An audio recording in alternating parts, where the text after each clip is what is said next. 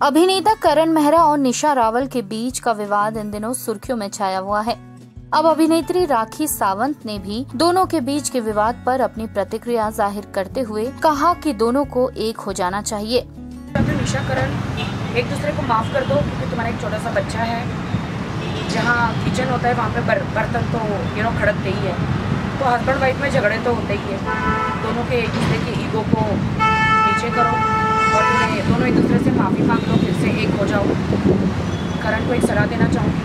तुम्हारी बीवी इतनी खूबसूरत हीरोइन से भी अच्छी दिखती है तुम्हारी बीवी। मैं निशा को जानती हूँ कि सॉफ्ट स्पोकन इतना अच्छा लैला मजनू वाला कपल है। और आप लोग फिर से एक हो जाओ।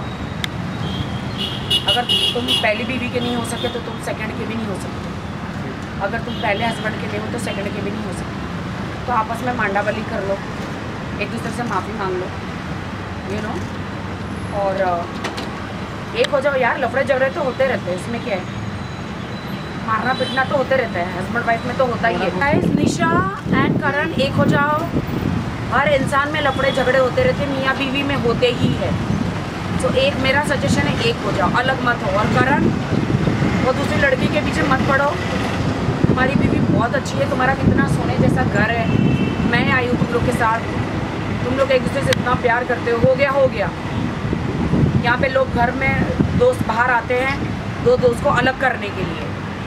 मैं आप लोग को कहती हूँ, एक शादी, एक विवाह, एक प्यार और एक पति और एक ही पत्नी। प्लीज़ आप लोग एक हो जाओ।